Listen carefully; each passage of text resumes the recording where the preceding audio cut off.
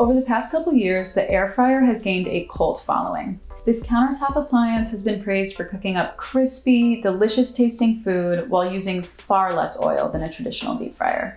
But the one problem is, it's not exactly the easiest appliance to clean. Don't worry, we're gonna walk you through the steps. Here's how to get your air fryer sparkling clean. If the removable parts of your air fryer are dishwasher safe and you didn't cook anything too messy, go ahead and let the dishwasher do some of the hard work for you.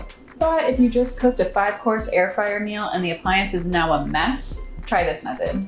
Fill your sink with hot water and a squirt of dish soap. Then soak the pan and basket for at least 10 minutes to help soften any of the stuck on food. Use a non-scratch scrubber sponge to help remove all of the stuck on food and the grease. Next, wipe down the outside of the air fryer with a damp cloth, as well as the inside of the basket base or the part that holds the basket. If there's any food stuck to the heating element, wipe it with a sponge or a soft bristled brush.